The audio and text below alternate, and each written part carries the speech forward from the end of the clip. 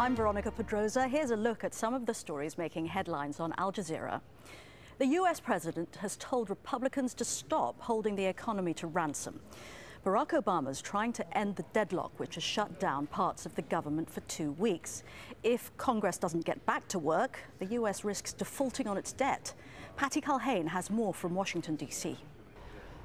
Another day passes with the U.S. government partially shut down. Another day passes and the U.S. is closer to possibly defaulting on its debt. But the leadership, both the Republicans in the House and the president here, are not necessarily sitting down to negotiate. Instead, they're fighting it out in front of the cameras.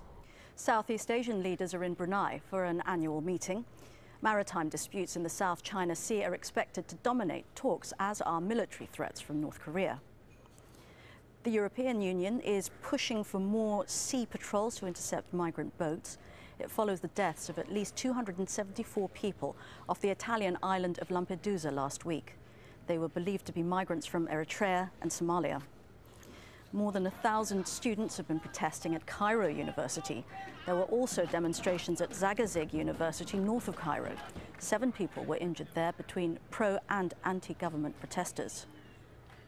And there's new hope in the fight against malaria. Drug maker GlaxoSmithKline's seeking approval to market the world's first vaccine. Trials showed it cut the number of cases in African children by half.